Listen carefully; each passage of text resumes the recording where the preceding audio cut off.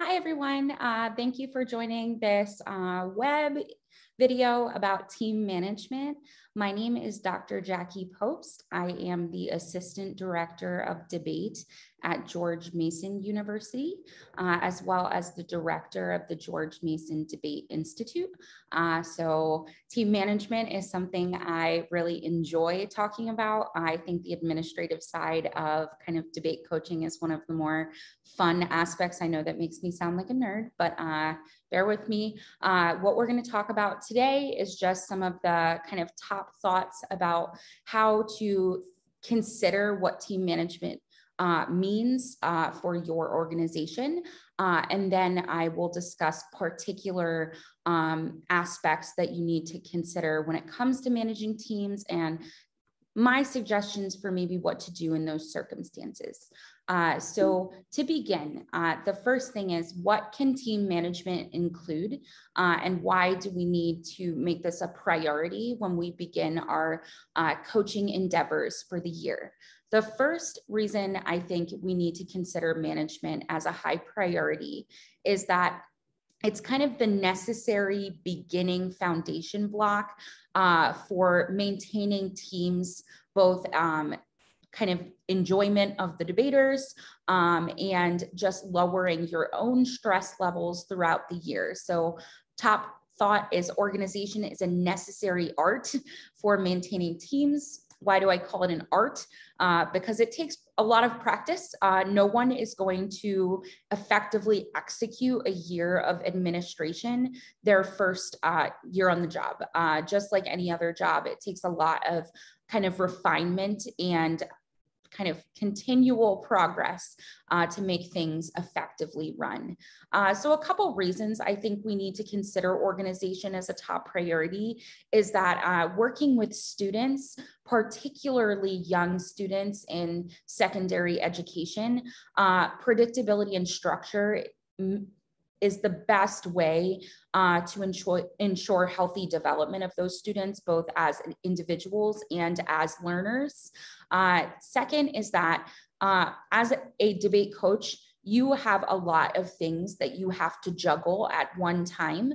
So ensuring that organized patterns have been set in place will ensure that you are not going to, at the middle or end of the year, feel like you are uh, underwater with all of the difficulties debate may present.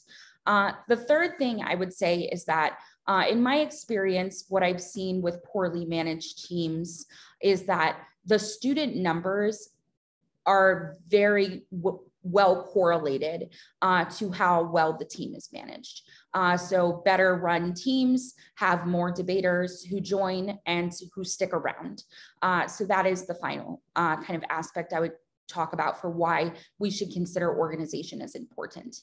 Uh, the second thing to consider at the kind of top level for team management is that uh, we need to think about the situations that we have to be prepared for in advance uh, so that when they arise, uh, we do not have plans in place because that is a nightmare. Um, I could tell you from personal experience. Uh, so a couple or several things to consider of what situations may uh, present themselves. Uh, the first thing is emergency operating procedures. Uh, so this is something that's required by university level organizations to have on file. Um, I'm not sure um, if most or all um, secondary clubs have the same requirement, but even if they don't, it's something I really recommend.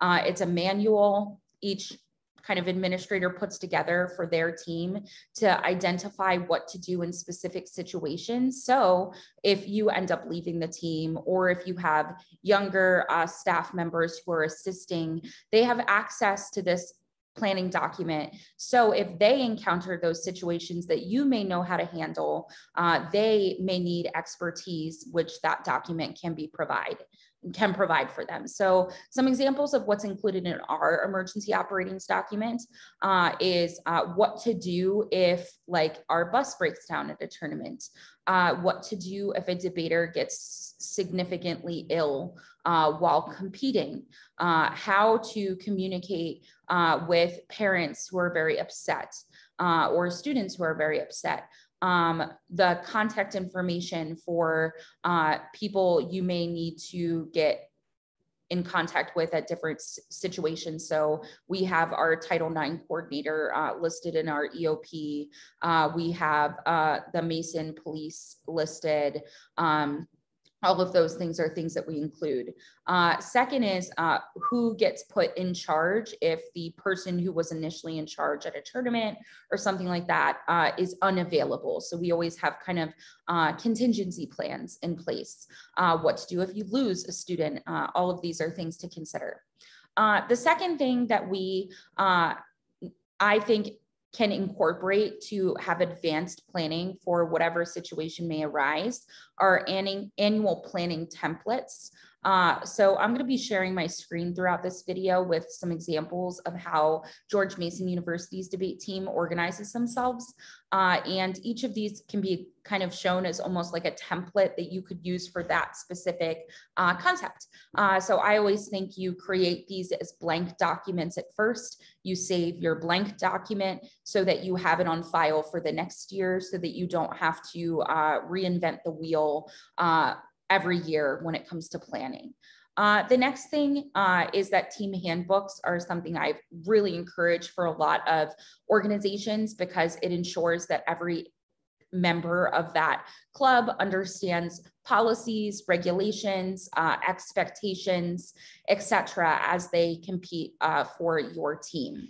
Uh, next is staff training. Uh, I think that this is a really effective way to ensure advanced preparation uh, because while you may be required to do training, if you ever have volunteers or alumni who come uh, to coach as at like a very part-time level, uh, ensuring that they have the training necessary uh, to encounter situations effectively uh, at the beginning of the year means that you don't have to go back after problems occurred to resolve situations because hopefully that training prevents them from happening in the first place.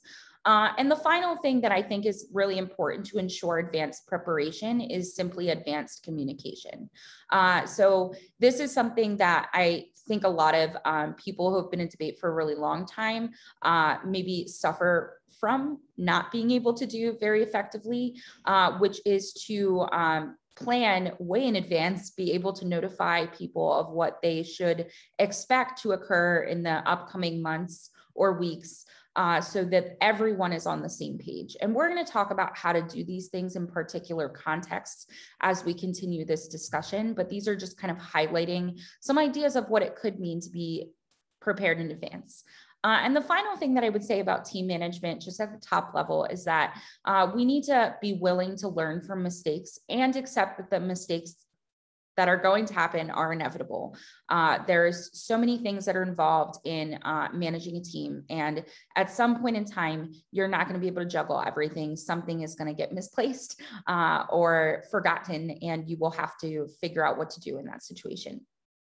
Get used to it. It's part of debate. Uh, so the first thing that I would say about how to effectively learn uh, from maybe mistakes that former coaches have actually made is that uh, I can tell you from experience, uh, I work for a um, much older um, supervisor who has been in debate for a really long time. And it took a while for us to convince uh, our supervisor to kind of embrace technological progress uh, when it came to how we can use this for our teams. Uh, so I would first identify uh, that technology is constantly changing. And with that, uh, different organizations at corporate levels, et cetera, are inventing things that can be used at the secondary and uh, higher education levels for team management. Uh, so we have started to incorporate a lot of applications that have been uh, made publicly available for things like file sharing, uh, for team communication, et cetera,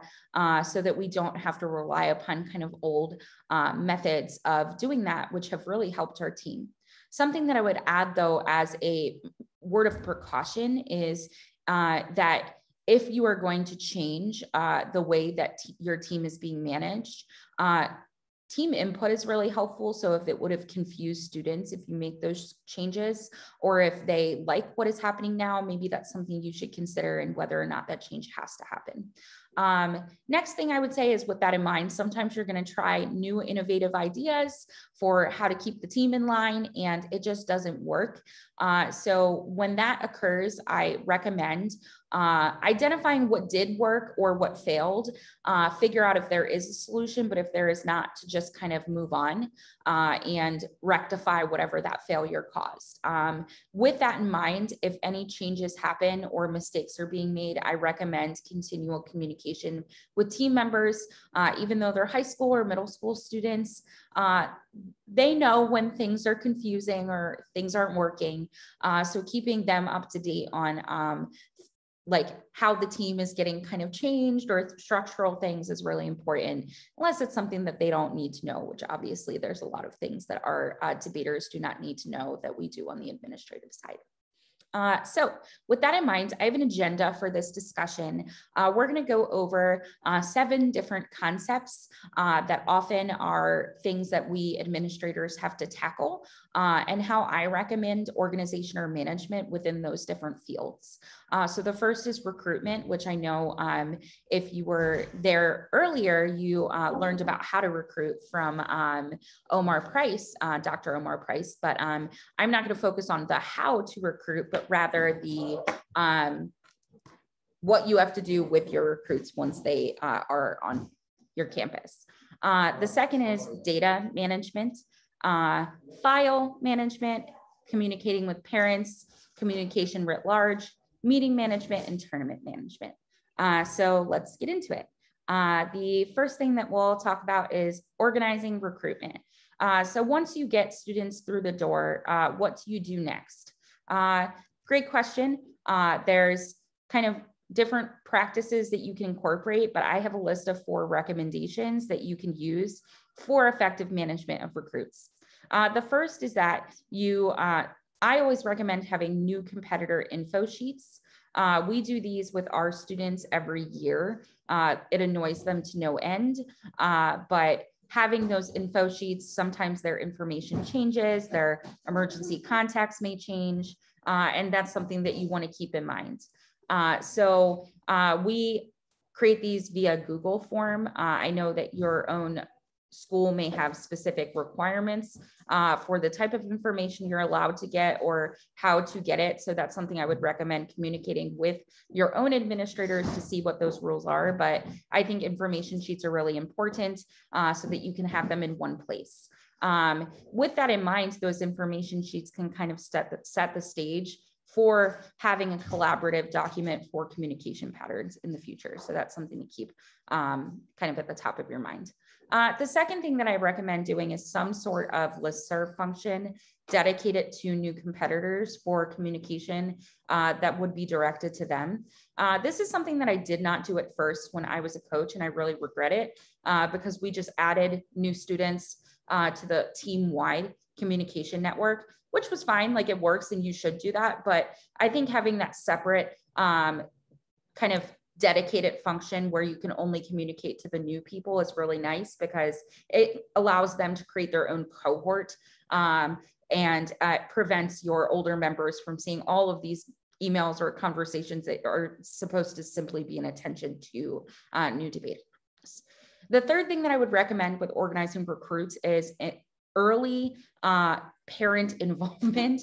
Uh, so I have ex- I kind of have this experience just from running uh, high school and middle school debate institutes over the summer. Uh, but the quicker that parents can be informed of kind of what debate means for their child or being on the team means, the less uh, confused emails that you will get later on in the semester or year from parents. So um, what we normally actually do for this is a meeting uh, over Zoom, very quick to kind of outline plans for the semester or year, what that means, um, and kind of what, what parents should keep in mind about what their debaters are going to be doing or their, their ch children are going to be doing as it comes to the debate team. Uh, that way, a lot of parents are going to get out all of their initial questions and confusion, uh, and uh, you are going to prevent a lot of headaches down the road uh, of parents who are very frustrated or concerned when they don't know what's going on. Uh, the fourth thing I recommend is to create mentorships early with older members and newer members. Uh, and that's something that can create kind of a uh, collaborative environment that uh, ensures the older members can teach the younger members about uh, expectations of the team and how the team is organized, all of those things, uh, which kind of ensures a uh, bottom up approach to uh, affirming the management practices that you are going to be incorporating into your team. So next is data management. Uh, this is something that I think is really important because of uh, all of the kind of information that we've received, both about students and that we have to handle throughout the year when it comes to travel planning or tournament planning. Uh, so having a plan in place for how you're going to organize that data and information is very important. Uh, so I'm going to kind of talk with you about how our team does this. And of course, not all of this is probably going to be uh, cor correlative to how you would plan to do so. But if you have no ideas, here are some ideas of what you could do. Uh, so Mason has an administrative folder uh, that um, has different access levels depending upon what what coach you are. So our uh, full-time staff members obviously have more information available because of like FERPA constraints at the higher ed level. And then our part-time staff members have the information that they need as well on the administrative level without kind of uh, violating the privacy of students. Uh, so um, this is something that I think is really nice because everything is in one place and the people who need the info have it. Uh, and this is kind of what we include on that. Um, we we use um, Dropbox pretty primarily for our team, but um, this document is actually um, on Drive because there are some attached uh, Google spreadsheets. Uh, and we use, and I'll talk about that soon, we use Google spreadsheets instead of uh, Microsoft spreadsheets, and I'll explain why soon. Uh, so the first thing that we include are those team info sheets. Um, I usually create an abreast version uh, that any coach could see what that information is. So like uh, name, contact information, uh, emergency contact, and allergies, stuff like that. Uh, but information that uh, only full-time coaches could see, uh, I kind of keep in that other separate section, like I said. And now I'm going to kind of show you what that um, example of the abreasted info sheet kind of looks like when I share my screen. Uh, so that's the first thing we locate. Uh, next, we have a Google spreadsheet uh, that is just called our coaching spreadsheet. That's actually where all of that information gets coordinated into one spreadsheet with multiple subsections. And I'll kind of show you what ours looks like. And it's uh, a helpful document, everything where you need it at one click. So if you're at a tournament and a situation arises, uh, most of the coaches have um, Google Sheets on their phone so they could simply open it up. Uh, we also have a team-wide spreadsheet, and this is information that all of the competitors need to have, and I'll show you that as well. This is where we put our team handbook as well, which obviously we share to students on our team Dropbox. And I'm gonna actually show you, give you a little tour around what our Dropbox looks like. Next, we have the coaching manual there, which is different than the team handbook because it is the policies and regulations for our individual staff members so they know uh, what is expected of them. We also include our alumni list here, which is something I recommend if you do not have, you start creating as uh, students graduate to keep uh, contact information there, uh, understand where maybe they are going to college or what their future plans are, uh, because first you can hit them up to judge at tournaments, uh, but second, uh, in the future, they might do really great things and having that information at hand to show to your um, current debaters is really good uh, motivation. Uh, the last thing that we include here is a person in charge info list.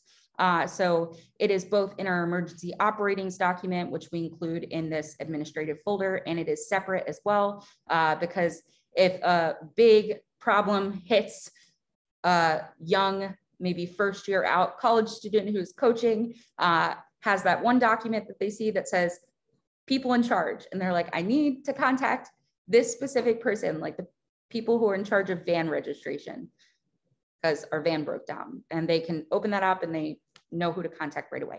All right, uh, so this is actually where I'm going to exit my PowerPoint uh, and start showing you around our specific um, Google Sheets that we use with the team. Uh, first, why do we use Google Sheets instead of Excel sheets? It's because it's a lot more collaborative in nature and it's online accessible um, and it uh, can update in a little bit more effective ways. And we've noticed actually that the um, some of the usages are just a little bit more user friendly. Uh, so there is going to be a lot of blacked out data on this screen. Uh, like I had said, privacy is something you always want to keep in mind. Uh, so when incorporating these things, uh, make sure uh, to effectively uh, protect uh, your debaters' information. so this is an example of what our coaches spreadsheet says. and like I had mentioned, this is something that debaters would not have access to because this is a planning document. so we have several different subsections. The first is a travel um, sheet. Uh, and this is where the coaches uh, start to plan out what the year is going to look like, who is attending what tournament, etc. If you notice, we've got kind of all of this set up so even coaches know like the specific dates of tournaments, their names, um, and then a list of who is going to that tournament on the coaching side, who's going in varsity, who's going in JV, who's going in novice. And we have this set up for the whole year, so uh, fall and spring semester. Um, we always keep a documented list of what our plans then would be for partnerships, uh, both for this kind of current year and maybe future planning ideas. Not maybe as important at the high school level, but it's definitely important at the college level. Something else that we consider as well um, is that we always include end of the year meetings. And this is just a document that we keep uh, so that we know what debaters like plans are, uh, what their goals are, uh, what they would like to work on. Um, so we've got these different questions that we include, uh, and then uh, obviously these blacked out debater names. Now we have, like I had said before, we have them fill out um, a debater information sheet that is a Google um, form. And then I take the Google forms that every person filled out. You can open it as a spreadsheet on like a Google sheet, and then I copy that over here. So we have like the debaters' names, we get their t-shirt sizes, uh, their individual student numbers, emails, phone numbers, their birthday, major year. Uh, we travel to a lot of national tournaments. Uh, so we get their uh, like airline miles information in case it's nice to get that, give them miles when they travel. Um, their emergency contact information, health insurance information, in case you need to give it to a hospital at a tournament, their allergies and their food restrictions. Uh, so those are things that we kind of get at the front end. I don't know how much of that is applicable for you all, or if your institutions would have rules about that um, and what you could garner, but that's something I would recommend consulting with an administrator at your school because getting a lot of this information is helpful for organizing travel tournaments. Um, this is where we also include this similar um, info sheet, but more abreast version for our recruits uh, because they might quit, to be honest. So you want to have them in a separate section, the quick, easy information uh, so that uh, if they stay on the team, you start to uh, incorporate them back over to this team info sheet. But at first, you don't really know if they're going to like to be. This is why we keep it separate, but it's up to you if you cho choose that. We also have our alum document here. Like I had said before, you want that alum list. We keep that on the coaching uh, document just for things. Um, we calculate points for tournaments and how we're doing over the year. That's what this is for, um, maybe not necessary for you. Um, I have my own document. Like I had mentioned, we don't tell our part-time coaches everything. Uh, so I um, put all of that on my novices spreadsheet because I'm our primary novice coach. And this is something only I have access to. Uh, so this is where I plan our meeting content. Um, I have specific novice information here. Uh, and then I have my thoughts for pairings, tournament availability. As the year goes on, some other maybe pertinent information would go here as well that I would only have access to. And then the final spreadsheet that we have is the team one that I mentioned. We have a specific results spreadsheet. If any of you are interested in having something like this, we call it our big board. We keep kind of track of if we had a team at a national tournament, whose initials were like JV. If you put wins and losses for their different rounds, it actually calculates it. Um, and our younger debaters really like to follow the tournament online when our older debaters go and they get to see it here, which is kind of nice. And it helps you know how teams are doing in the tournament. So you don't have to constantly look on tabroom.com to kind of update, oh yeah, that team is, they've won three rounds and lost one, right? So that's kind of helpful. Uh, we have an assignments section for as we kind of dole out our plans for what debaters are going to research uh, and assign due dates, etc., which we have available for debaters to see on this spreadsheet. We have a tournament info sheet. I think this is really important, uh, especially if you're going to an in-person tournament. So um, we identify all of the attendees of the tournament. Um, what specific hotel room they're in. Uh, if you need to go knock on a door to wake a debater up, uh, having this list on your phone is really helpful. Uh, and then we assign uh, seats in vans so that we don't lose a debater. Uh, so we identify what van they're in. Uh, we've got a really large team. I don't know if this will correlate for you. We've got about 40 debaters. so we actually do need to assign their seats or someone is going to get left behind. we have partnerships listed here so they know what's going on. And then sometimes we'll identify if there's a primary person who will be coaching them for the weekend. This is an example of early and advanced communication. So if debaters have access to this spreadsheet, they can know what's going on and that can answer a lot of questions that would come on the back end. Um, so we also have a spreadsheet, and this is something I recommend to every coach when I like talk to them. Uh, organizing meals at tournament can be really difficult. Uh, and if this is something that you all do for your students, having just a list of what they would have ordered if you go somewhere is really helpful. So we always ask them to fill this out. Like if we would go to Wendy's, what would you get? Uh, and they fill this out for themselves at the beginning of the year. So then if we're at a tournament and we have to buy them like Chick-fil-A and I go, I know what to get them. So it prevents you from having to like go to an individual room when they're competing to figure out what food they want.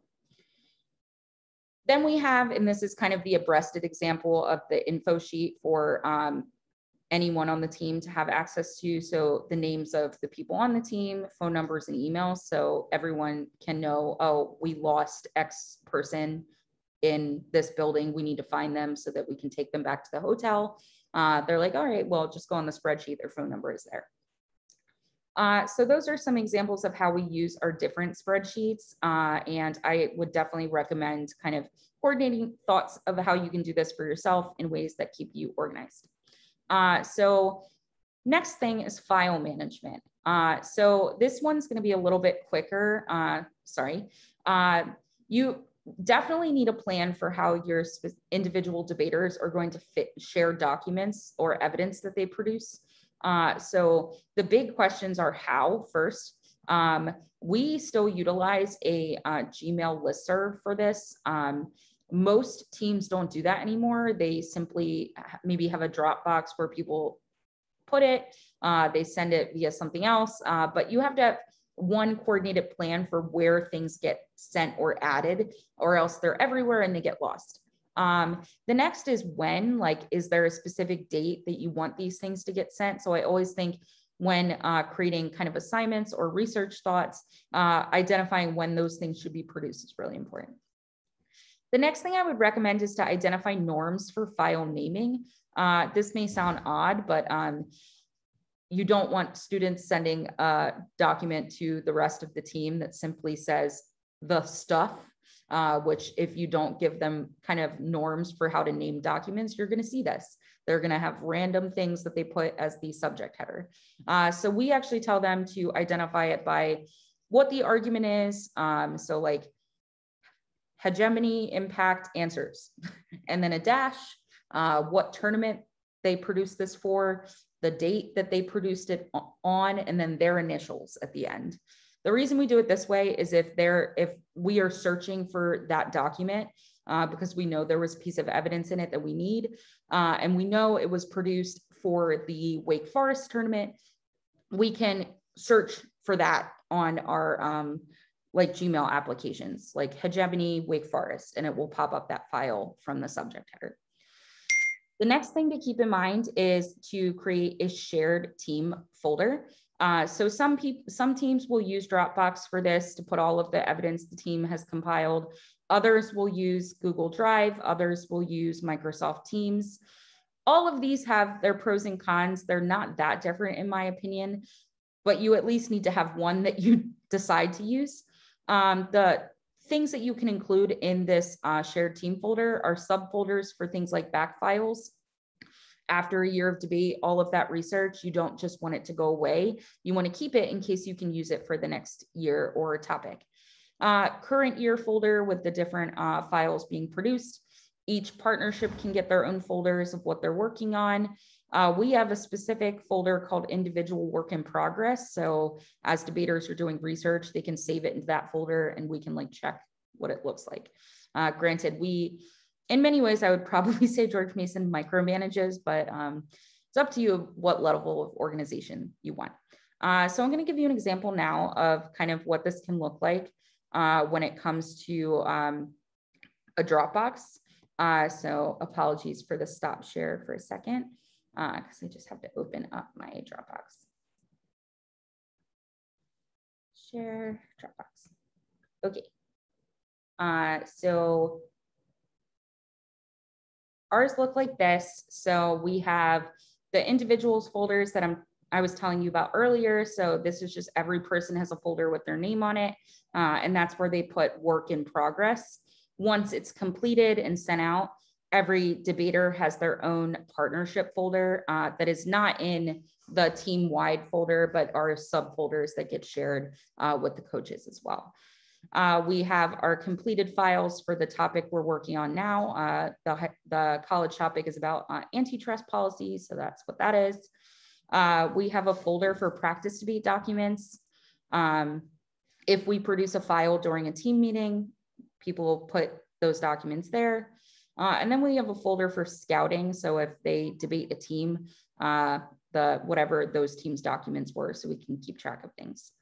Uh, we have a style guide that we actually save on the outside, which is how to format evidence um, because we like to keep it coordinated. So debaters have access to that as well. Uh, so that's kind of what our um, team-wide Dropbox looks like. Uh, and like I said, uh, the files get sent to uh, our listserv, and then uh, one of the coaches will move it over to the completed antitrust files is kind of what we do. Uh, definitely not what you have to do, but um, that's just what's worked for us.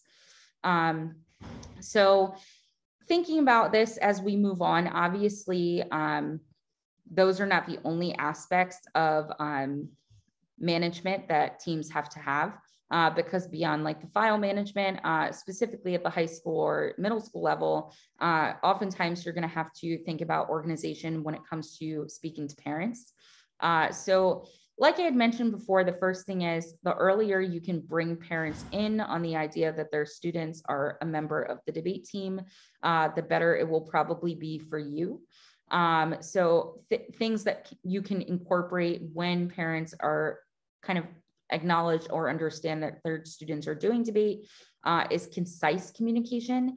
Uh, so I noticed uh, after a lot of experience with trying to send kind of when I had a lot of things I needed to tell parents and I just sent them an email with like 10 different things. Uh, most of the time, something got lost uh, in all of the kind of like mess of that email. So if I had like different tasks that I needed them to complete, uh, if they would probably miss like one of those things. So I always recommend very concise communication. Um, so the way that I've noticed works the best is if parents know to expect uh, an email from you at a specific time throughout the month. Uh, so like a, a kind of like digest email. And then after that, any email that you send should be like a like something occurred, you need to know this. Uh, so if it's not something that can't wait until the digest. Uh, so sending like a bi-weekly update email, here's all the things you need to know. If they know it's it comes every other Monday, it's more likely that they're going to read it in its entirety to kind of see what's going on. Like I had mentioned before, a beginning of the year parent meeting can really set the stage for a lot of this as well, because if there are things that parents need to know for every time their ch- child is traveling to a tournament, you can cover that at the beginning. And then you probably uh, are not going to have as many parents like forget their child needs to bring XYZ uh, because they were notified at the beginning. But you can send like a, a reminder, and most of the time that will be sufficient. Things that I would avoid a barrage of emails, something's going to get lost uh, and not setting up some sort of norm of communication. Uh, if you don't do that early, you're going to get parent calls at like 9:30 at night and uh, expectation that you answer them whenever that happens. But if there's a norm of I'm going to be making sure you know everything you need to know at these specific times. Uh, here is a folder of like uh, that you can access from online, like a Dropbox with all the information some of those things can really help to ensure parents feel safe and secure with the fact that their students are often uh, traveling to debate tournaments or attending uh, like debate classes after school, stuff like that. So keep that in mind. Next thing is communication management. Uh, so the I don't have a ton of recommendations here beyond the fact that there should be a central location uh, for communication for the team uh, so that uh, things do not get lost in the mess of multiple kind of uh, media choices for communicating. Uh, so our team uses Slack as a messaging center. We have found that this works really well uh, because uh, Slack is a bit more of a professional site. So it doesn't have some of the things that like Discord has where you can send auto, auto like GIF messaging, which leads to a lot of debaters just sending spam to the um, communication center, but uh, Slack can let you create uh, sub channels for uh, people to communicate. So you can have team sub channels, uh, things like that. If you have a tournament you're attending, you can create a channel for it. So the members who are attending the tournament get communication while they're at the tournament about that. You can make it accessible on your phone. Uh, so it's really helpful uh, to keep uh, everybody in the loop of what's going on. Uh, other people use Teams or Discord for this, which I think are also fine uh, choices. Uh, so recommendations that I would have though for managing that communication, you want to develop norms early for what is expected when people use team communication platforms. so we have uh, a norm of please do not spam the professional channels that we have. So um, do not just like send random like YouTube videos, etc. Uh, we actually created a sub channel simply for that. If debaters want to message like funny things, it's its own thing, so nobody else has to see it. Um, next is when to message. Uh, if you don't create constraints for like high school students uh, to not message the Slack that you are a part of at two in the morning, uh, you're going to have to see all of those messages.